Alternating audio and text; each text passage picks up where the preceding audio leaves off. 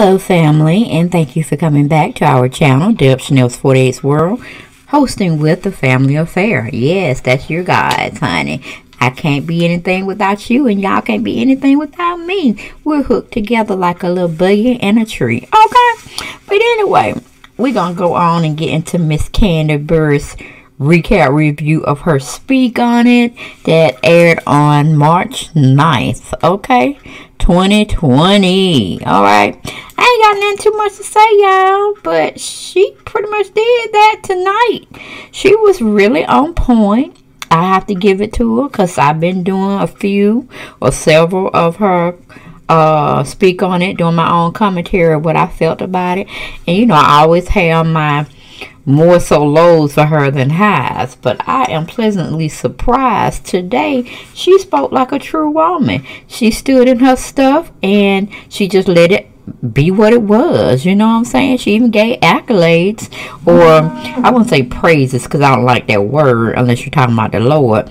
But just give good commentary on some of her colleagues, or really all of her colleagues uh, on this show. Yes, honey, but I would like for Kandi to definitely stay out of people's marriages because, honey, you think you be helping them and you go get them some advice, do this, that, and the third, honey, they'll turn on you like none other, none other, okay?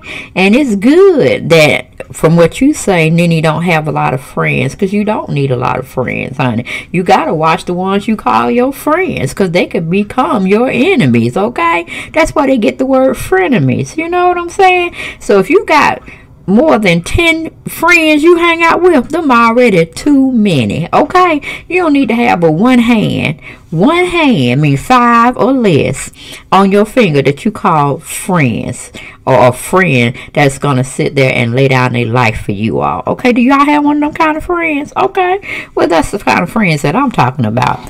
and usually you get them earlier on in life or later on in life. But you don't have a lot of people. That's what you call entourage. How can it be trying to float around there and this, that, and the third? Because, hell, some of your family members can be your friends. You know what I'm saying? Hush, Elijah! Oh,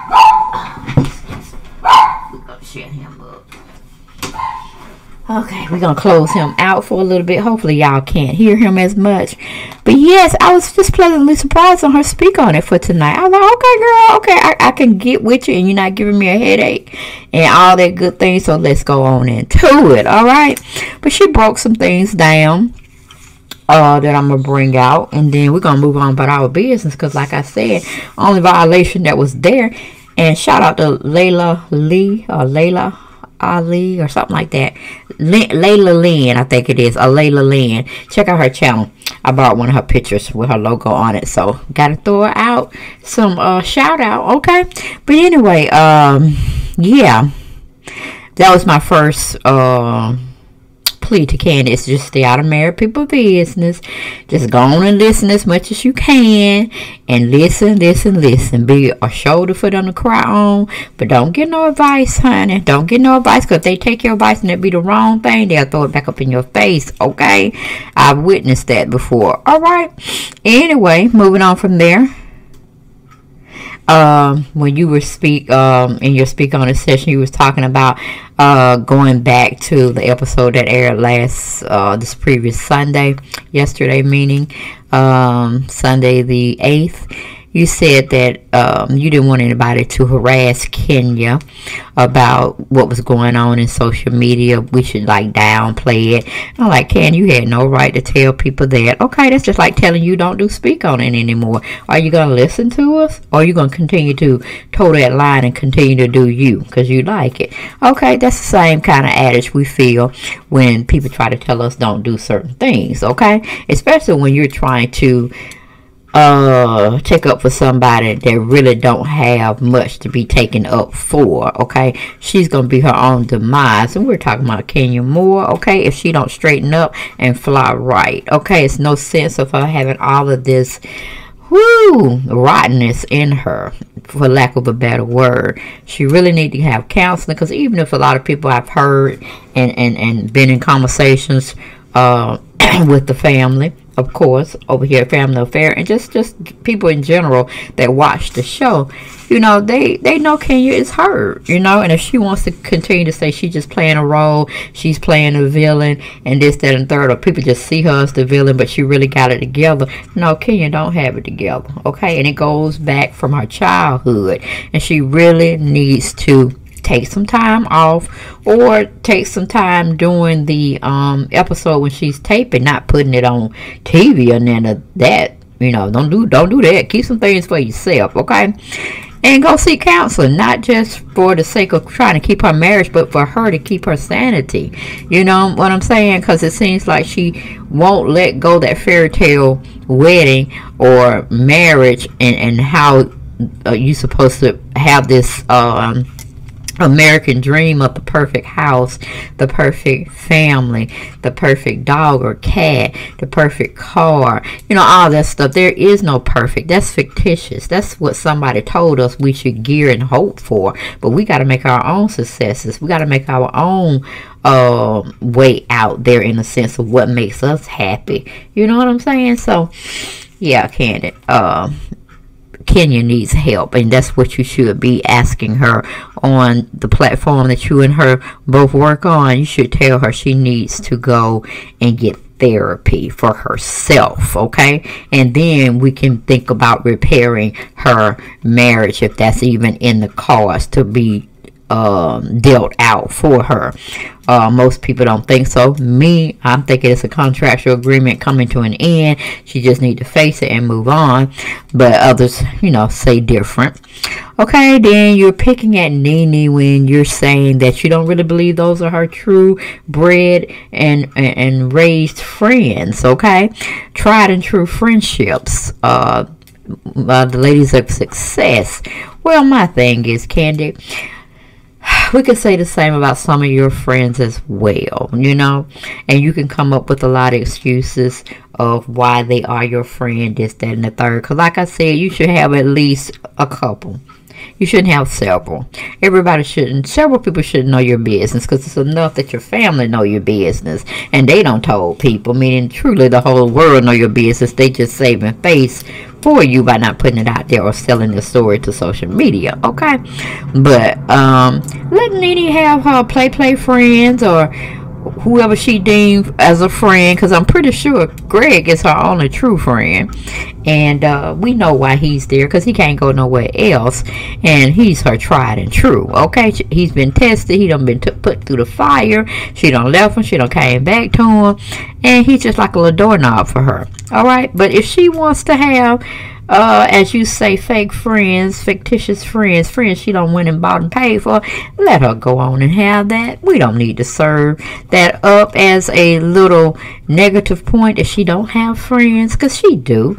She just, when you get older, you don't have a lot of friends you want to be around, you know, because you start to see through some of their ways that are not always genuine.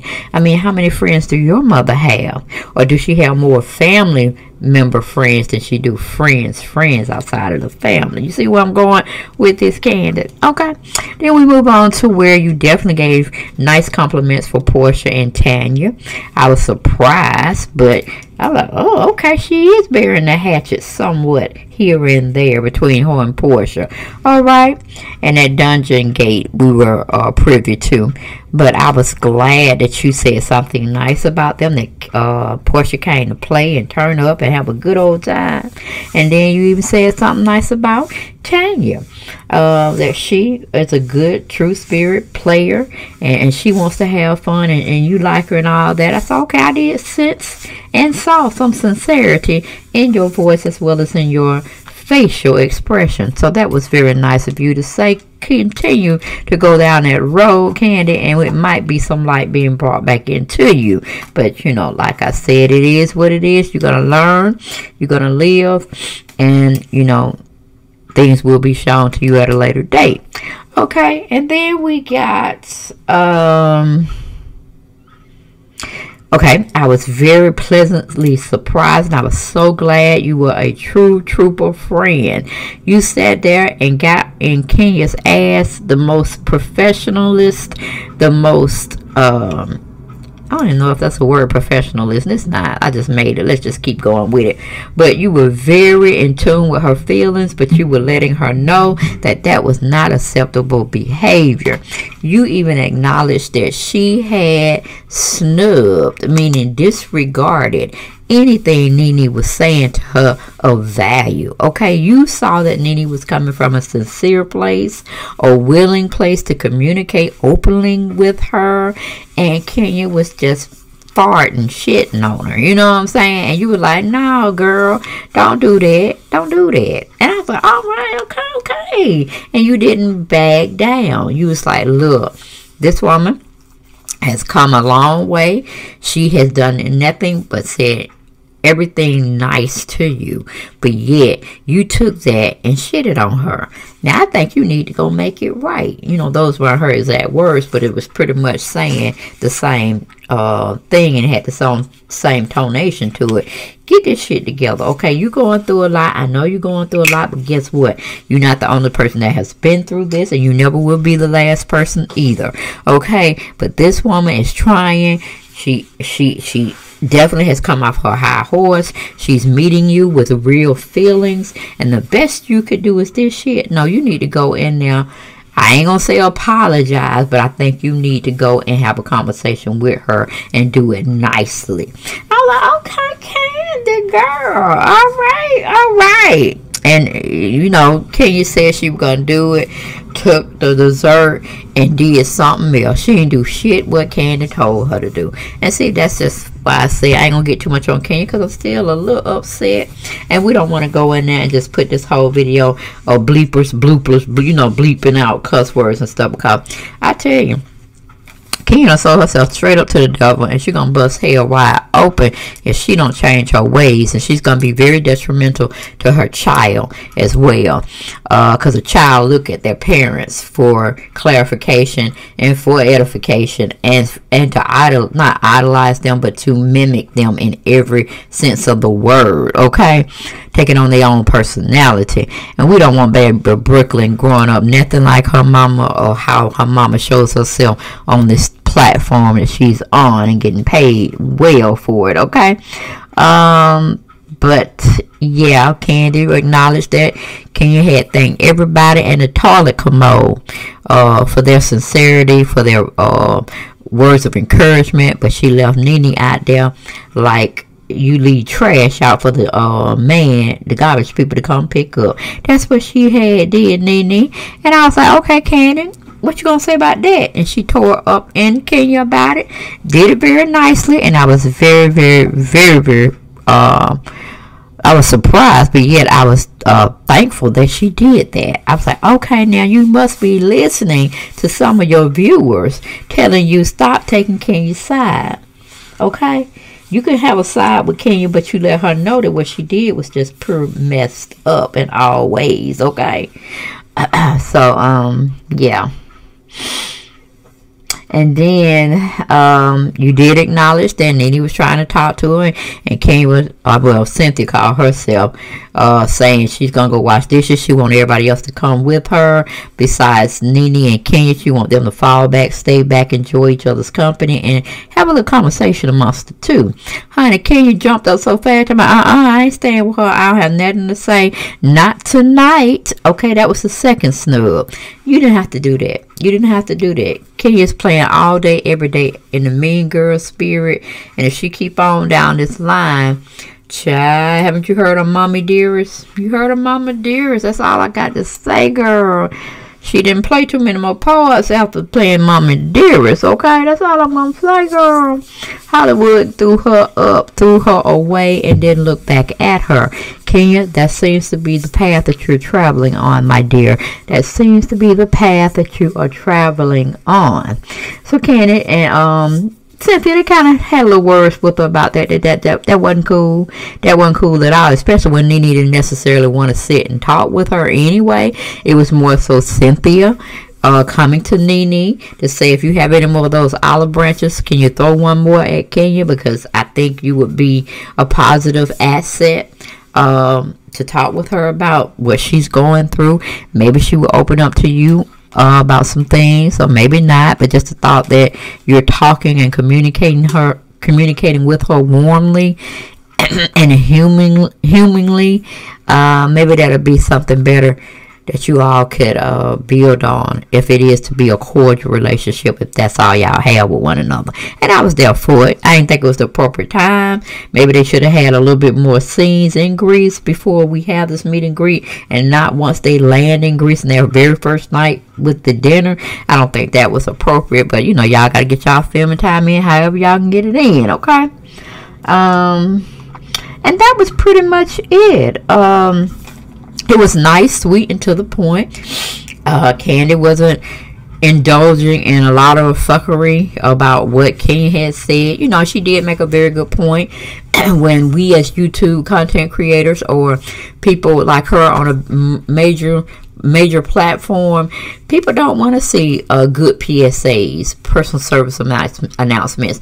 They don't necessarily, I'll say 90, to be fair, 93% don't want to see uh, people talk about good things and, and, and, motivational things on a routine basis. You know, they like get their feel on Sunday service time or Saturday service time or, you know, they have it where they listen to motivational speaking um, through visual or through their audio tapes or whatnot. And then they don't got their feel. Other than that, when they want to do quality time or they feel quality time. They want to indulge in some mess, okay? They want to indulge in some drama.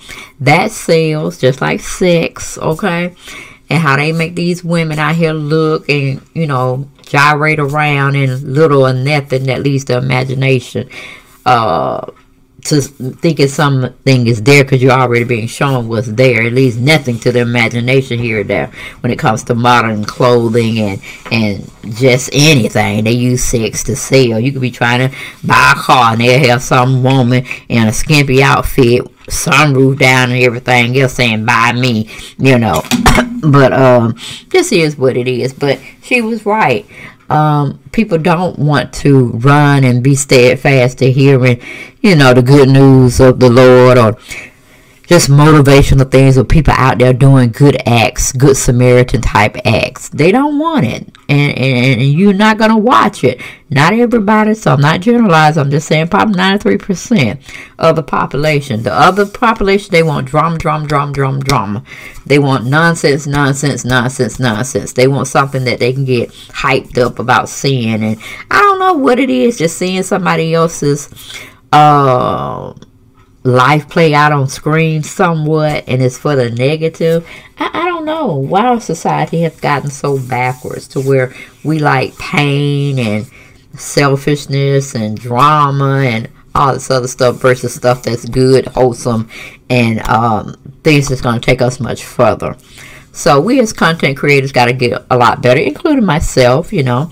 But I'm used to, you know, calling a spade a spade. You know, if I have to walk into a certain line, then I feel everybody else should toe and walk the same line as well. You know, especially if they're going to be around me.